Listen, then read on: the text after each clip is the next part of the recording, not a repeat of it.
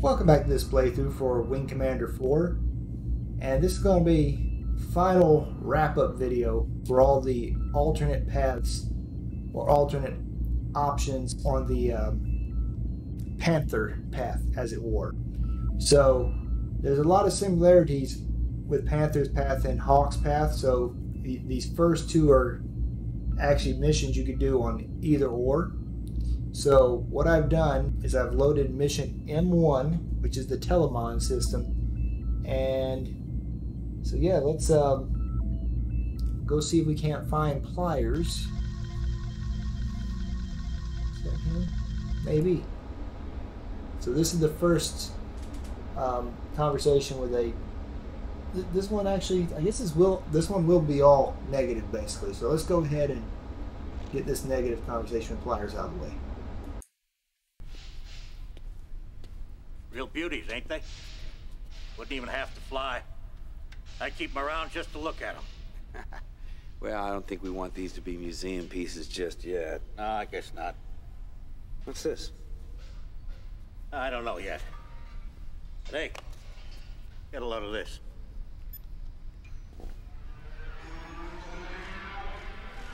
Yeah, finally, I get to dig into something that's state-of-the-art. Oh, don't worry, I ain't gonna cannibalize these babies.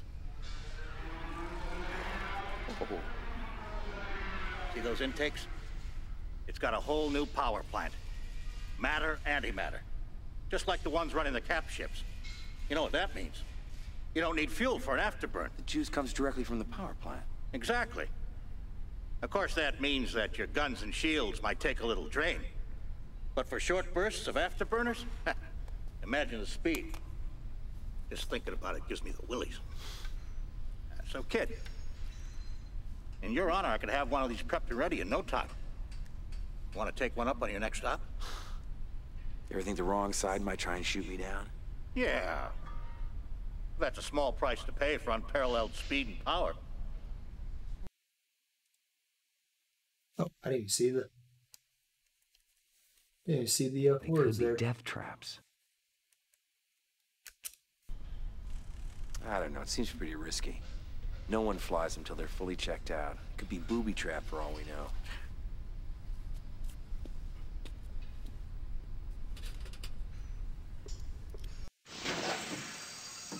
He's probably one of his uh, least angry responses, I'd say.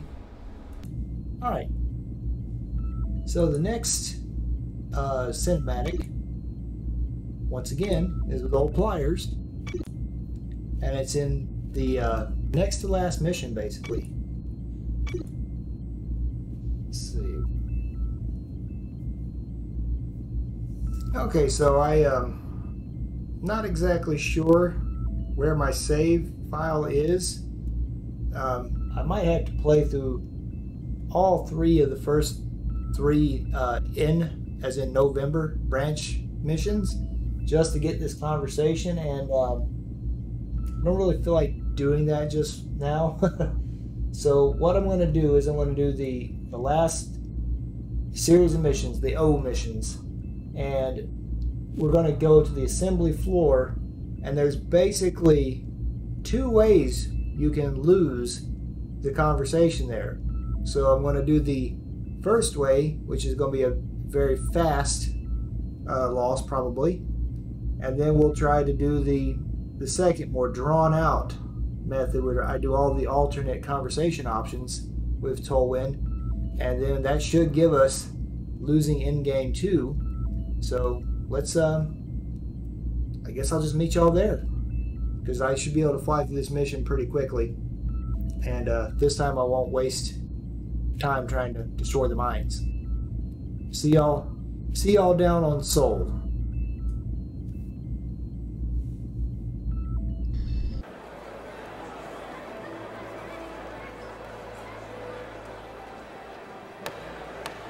The Assembly is in session. Today we honor a man who has dedicated his life to the protection and defense of humanity. And we congratulate him on his promotion to his new post. Space Marshal Tolwyn.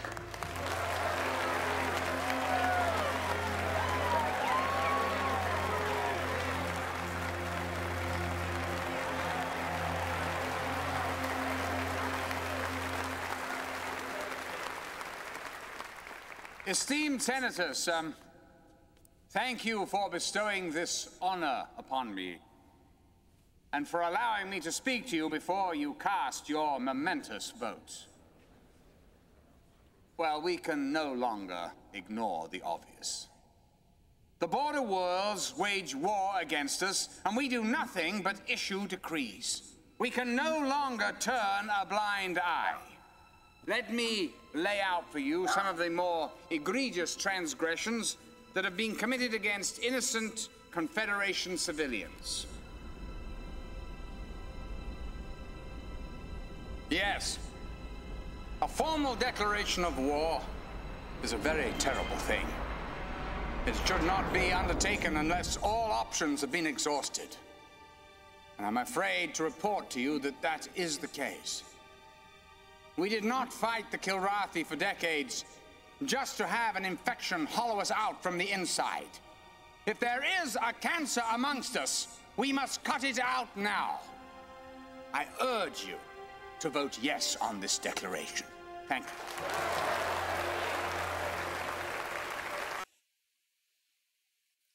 Careful. Fools rush in.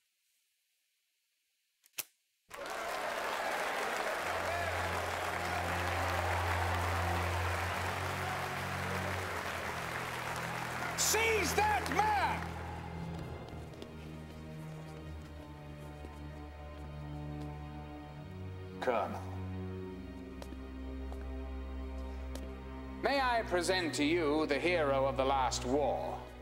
who has forsaken us and now fights for the border worlds. Admiral Tolwyn is lying to all of you. Please, Paladin, hear me out. Remove that turncoat.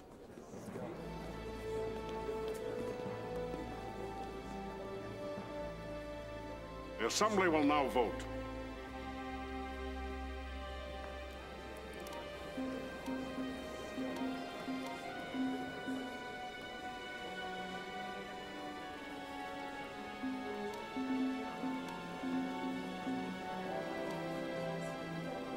This assembly votes for war with the Border Worlds.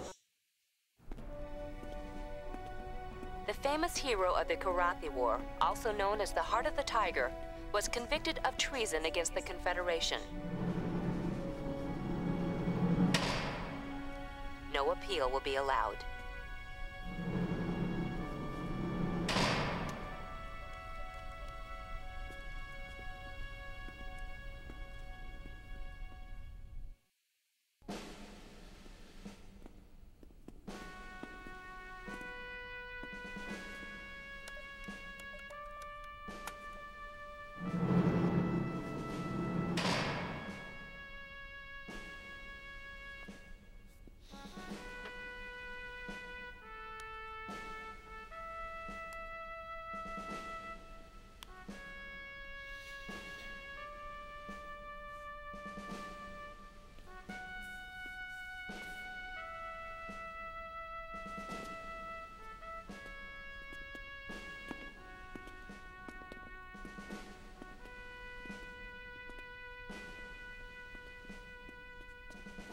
Blindfold?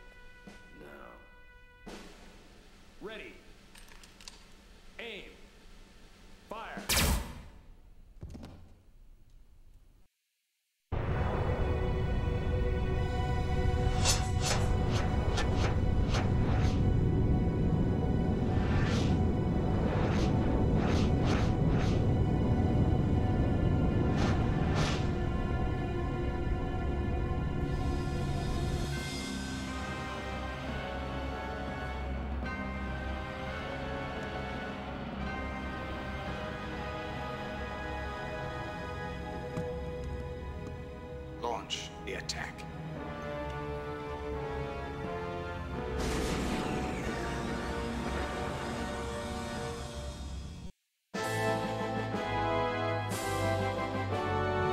All right. Well, there you go. That was the losing, um, second losing ending. But let's let's look at the uh, more drawn out way of getting it. I'll meet y'all back in the assembly room. assembly hall. Whatever. See you there. Alright, here we are back in the assembly hall. And this time, we're going to seize the moment, but choose every other conversation option to get all the different outcomes. Well, different conversations, but it'll still be the same losing outcome. Anyway, let's do it. Seize the moment. There is a cancer that needs to be cut out. Seize that man! But it's not on the frontiers of the galaxy, but right here before you. Well, come. This is the great hero of the Kilrathi War, who has betrayed the Confederation and now fights for the Union of Border Worlds. I fight as I always have, on the side of peace and honor. Please, Paladin, hear me out. If any man has earned the right to a hearing, it is Colonel Blair. Let him speak.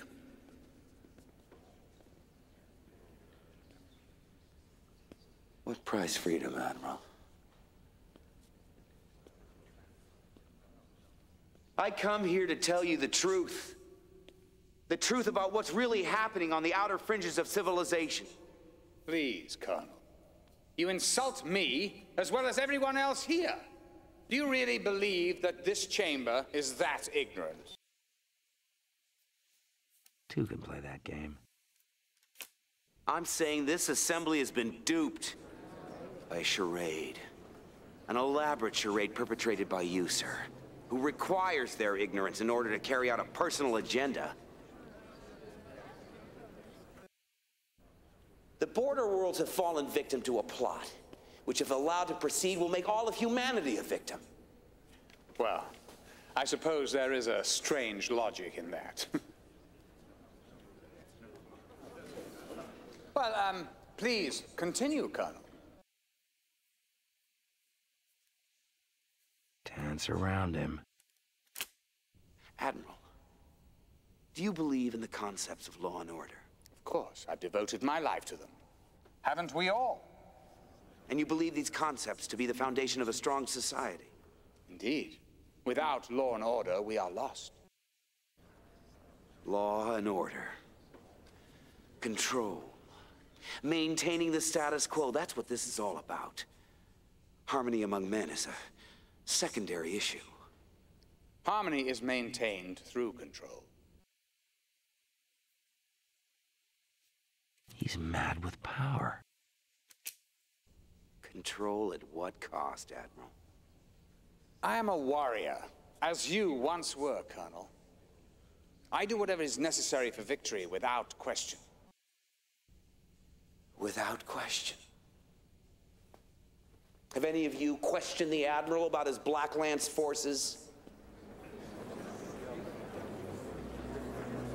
Marshal. What are these Black Lance forces he's referring to? If I may remind the Assembly, as commander of the SRA, I'm empowered to marshal whatever forces are necessary to protect our galactic interests. And these forces are stationed at a starbase in the Axius system, isn't that right? Well, it is my duty to station forces where they may be needed. And the Black Lance have some extraordinary equipment at their disposal. Effective soldiers require effective tools. Like secret, unmarked fighters? Like highly advanced fighters with no markings? Prototypes often fly unmarked. Yes. Making it conveniently difficult to identify perpetrators of criminal acts. We have identified the perpetrators. They fly the same colors as you do.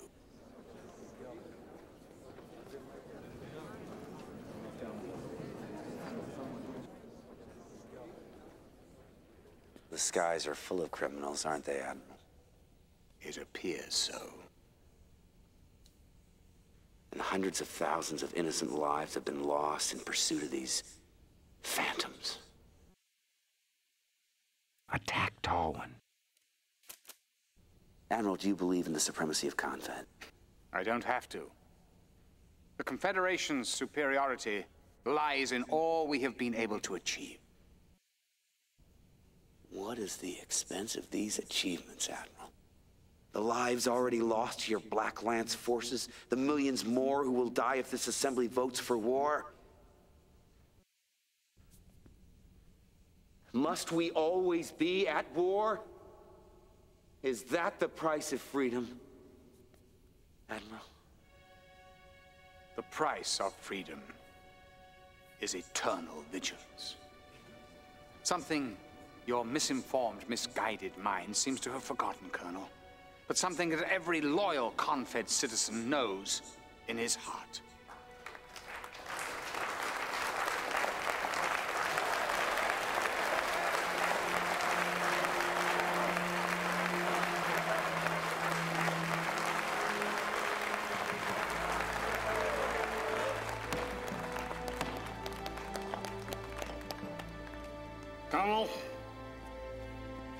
Think we have heard enough.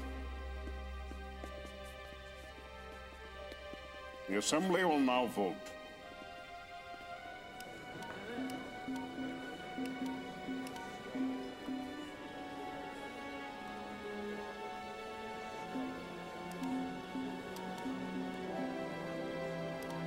The ayes have it. This Assembly votes for war with the Border Worlds.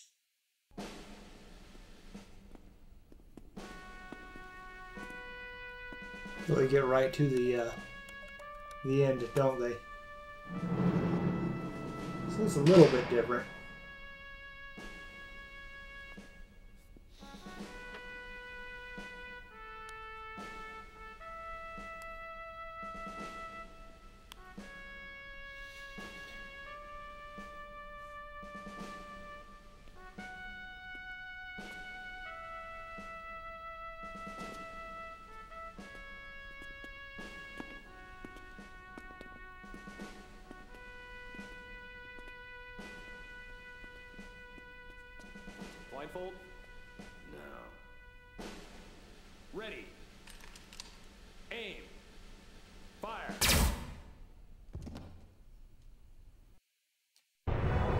So that is kind of lame.